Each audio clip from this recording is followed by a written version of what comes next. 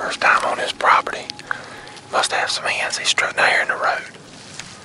I mean, he's a hundred yards right now. I don't know what we're gonna do. Sit down and start scratching in the leaves.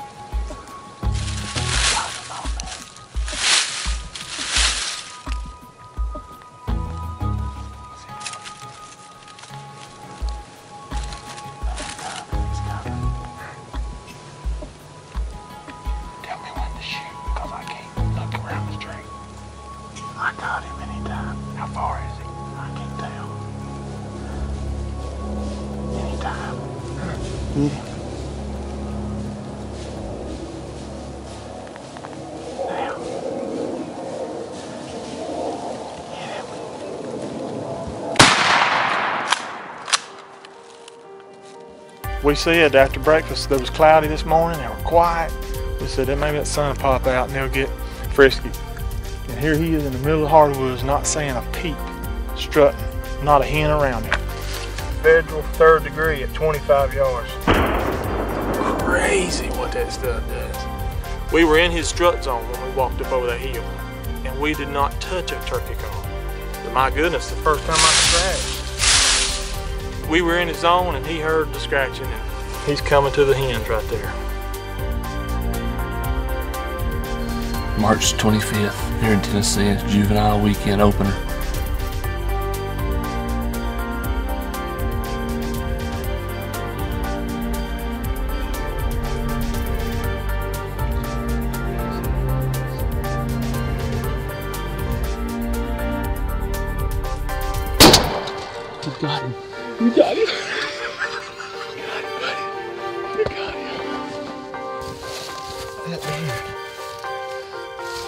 There you go, buddy. That's what I'm talking about, man. As you can see, it worked out for us, didn't it, buddy? Out in the morning juvenile here in Tennessee. Couldn't have went any better. Bustin' Heads. Spring Thunder is brought to you by Realtree, Woodhaven Custom Calls, Huntera, Federal Premium Ammunition, Bog Pod, the National Wild Turkey Federation, and Cabela's. Welcome back to Spring Thunder. I'm down here in Tennessee. It's opening day, and as always, we're down here hunting the first week of season. And uh, so far, the action has been fast. It's been great. But on this week's episode, we're actually going to take you on some hunts from Nebraska and Alabama. Those seasons just opened up in the past week. Greg Clements was in Nebraska uh, hunting his family farm, and Andy Melton was on a piece of ground that we hunted last year in Alabama. We went down there and the birds whipped us pretty good. But uh, Andy and David got in there this year, and with that extra year of knowledge and how to hunt this property, they were able to have some success. So, plenty of turkey hunting action on this week's episode. In fact, we had some action ourselves this morning. Mr. Roy just shot a gobbler about 15 minutes ago. He's going down there and getting the pickup right now. We're actually producing video blogs from Tennessee during opening week. So you need to go over to that portion of the website and check those out. We'll be bringing you those every day that we're in Tennessee, and, and uh, we'll be here for at least four or five days. So uh, be sure to check in on those video blogs as we go here. But I hear Mr. Roy pulling the truck up back here. We've got to go out and chase some more longbeards yet today. I hope you enjoy this week's episode.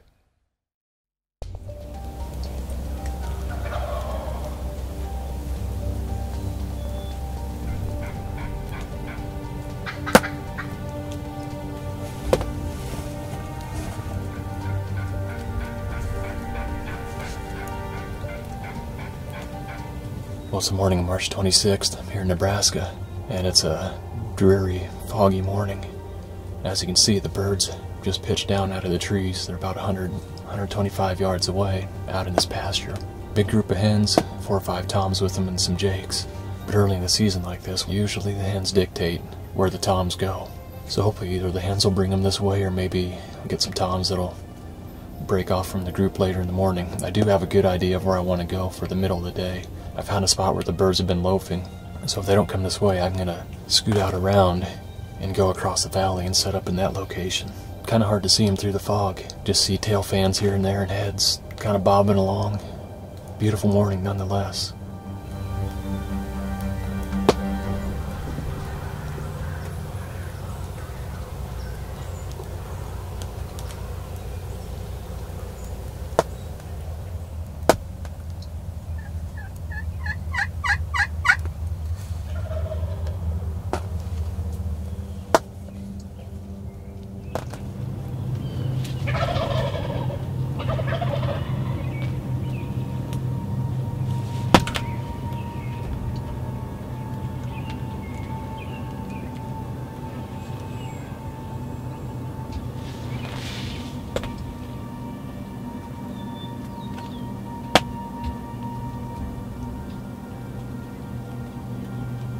These two toms closed the distance quickly from 100 yards to about 40, but unfortunately they hung up.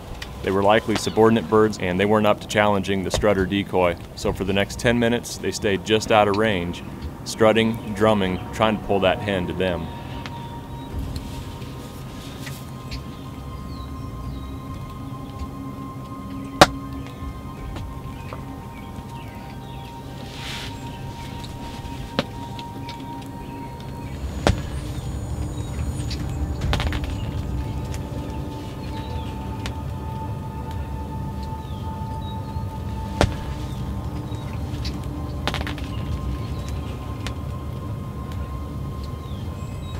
As the birds started to work to my left, I could tell the encounter was starting to play out. They were losing interest, but as I kept ranging, the closest bird finally hit 30 yards, which was my self imposed limit, and it was time to take the shot just before he made his way into the timber.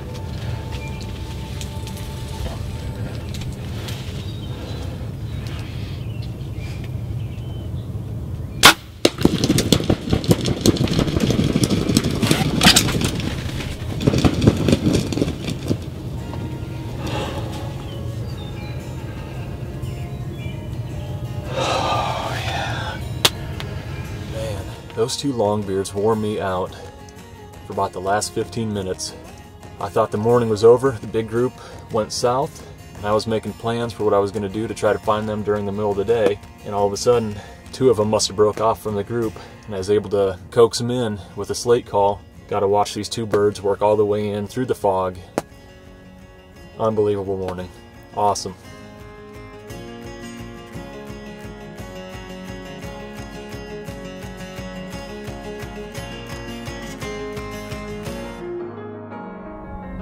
I love kicking my season off here in Nebraska every year. This early season hunting can drive you mad when the birds are grouped up, but in this case, thankfully, two of them peeled off from the group and came back probably to check out the calling that I had done earlier. I was using a, a strutter decoy coupled with a hen this morning, and that, uh, that combination, or at least the strutter, has worked out well for me in the past few years here.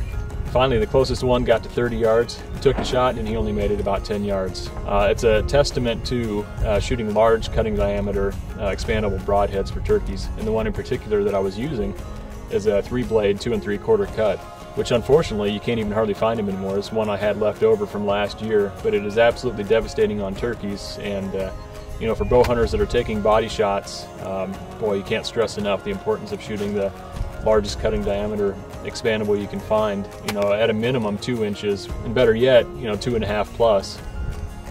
It never ceases to amaze me the, the variations you get in the, the colors of the, the tail fans of the birds in this area. Last year I shot one that looked like a, a Rio subspecies, and uh, in years past I've shot some that look like Merriam's.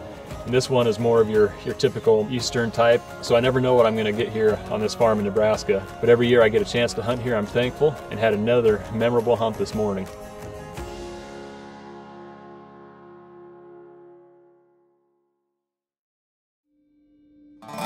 Well, the fun didn't stop after that morning hunt.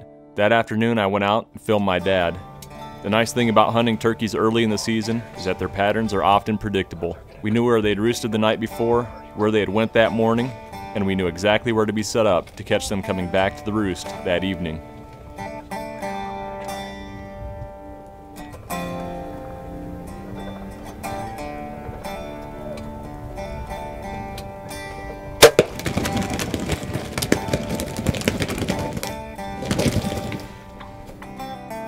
my dad and I had a great hunt together, and going into the next day, I got another tag, and I had one bird in mind. If you notice in the footage from that morning, the bird that stayed out the farthest was a longspur, and that's a rare bird for this area. In 20 years of hunting this farm, I've only taken one bird that had long hooks. So now I'm saving my tag for either that bird or an exceptional encounter with some awesome footage.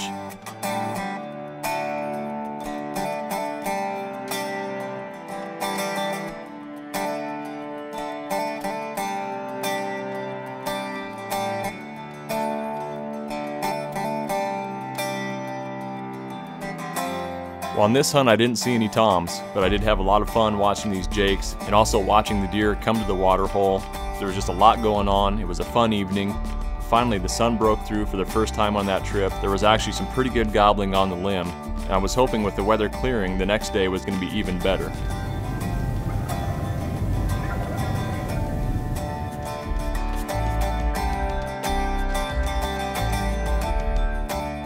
The next morning, as it turns out, the weather was overcast again, but the birds were still active.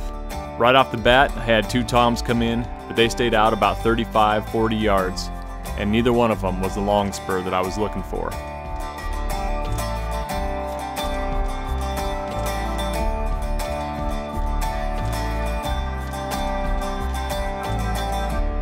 So mid-morning, I picked up the blind and moved locations to another spot where the birds like to loaf during the middle of the day. There was five toms in the group, but still no longspur gobbler. I did get three of them to come in and check out the decoy. They were easily within range, but the encounter just wasn't what I was looking for to use my second tag. So I had a great end to my trip. I was in birds the whole time, and it gives me something to look forward to and go back for. Hopefully, I can catch up with that longspur bird before the end of the season. Today I'm going to show you a new mouth call that's on the market this year. It's the Woodhaven Ninja Venom. It's part of their three-pack Ninja Series mouth call, and uh, it's a three-reed call with a snake tongue reed on the top. It's my favorite because you can get high pitched. You can also drop into some of that low end rasp. So you can sound like a hen turkey and a jake if you want to.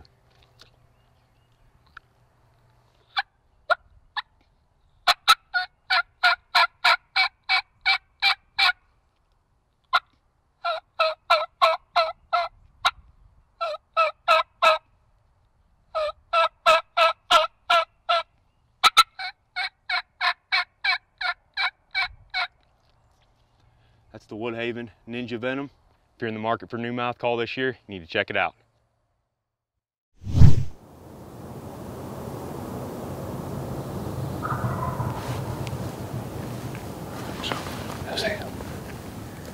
We got up here this morning where when we were scouting yesterday, we saw saw the bird right here, and uh, he took off running down this point. We weren't sure. We knew he'd be in the area, but it sounds like he's down in this bowl, and there's more than one. There's two or three down there.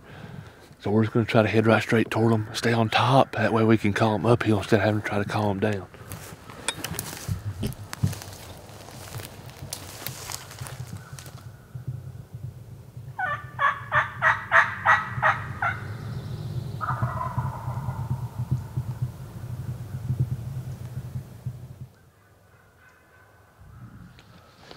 Sounds like a Jake. I just hope he's got the long beards with him.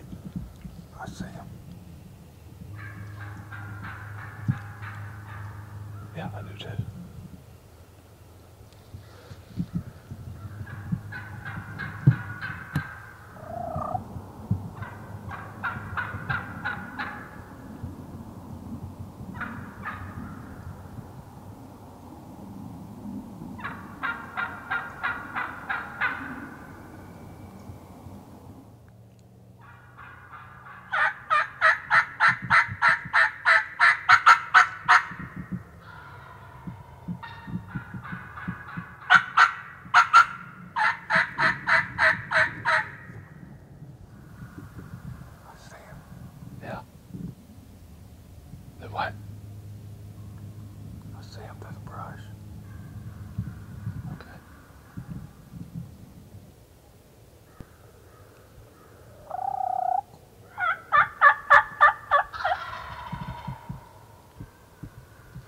Should I hold the strutter up or no?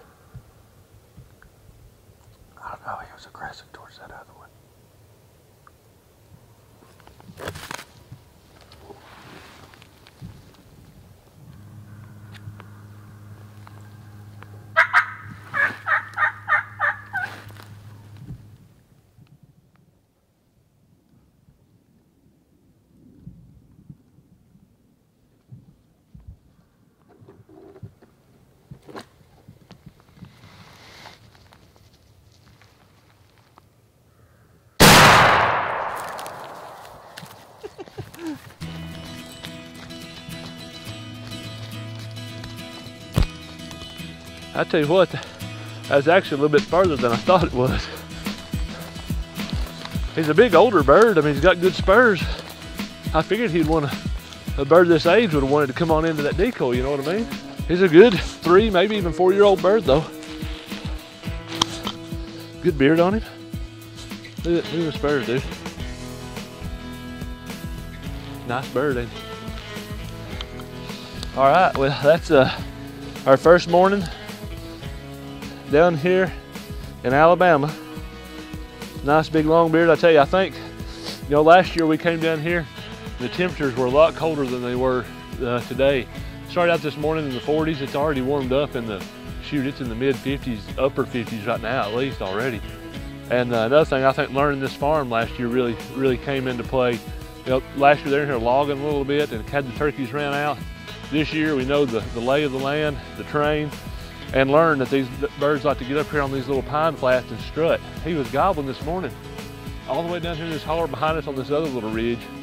And uh, we knew that if we went down, we were probably not gonna kill the bird. So we stayed up high and it worked out just perfect for us. So now we're gonna head on back to the camp and uh, have David call in, get him a Alabama tag, and we're gonna go out, we're gonna get another one.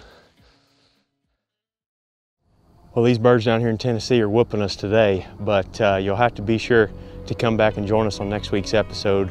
We have had some action down here, and I've got lots of other hunts coming in. A lot of the turkey seasons of April are, are uh, starting right now, especially in you know the mid-south and even creeping up into the lower Midwest. So it's, uh, it's turkey time for a lot of us, but you're gonna have to come back and join us on next week's show. We're gonna have lots more hunting action for you. Also, if you're not already a member of the NWTF, please click on the link in the corner of our screen, go over their page and become one. But thanks for joining us. We'll see you next Monday for Spring Thunder.